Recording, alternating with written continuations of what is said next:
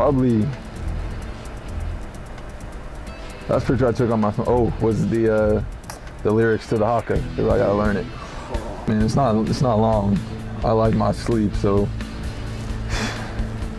no, it's not even 24 hours. Probably like 20 hours or something. Just because I say it so much, probably bro, Bro. bro. I'll probably pick Star Wars just because the Force. That's crazy, bro. Dream job growing up, always I always wanted to to play in the NFL. Uh, I used to want to be a linebacker though, so Yeah. but uh, here I am as a quarterback now. Singing, that, that's the dream.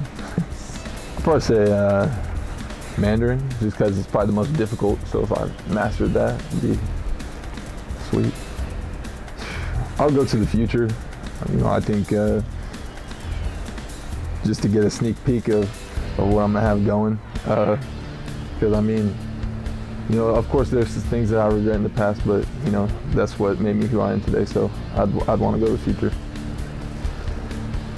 Easily JJ Watt, just because uh, then if he's on my team, I don't got to worry about him ever ever coming after me. So uh, give, give me a little bit of peace of mind there.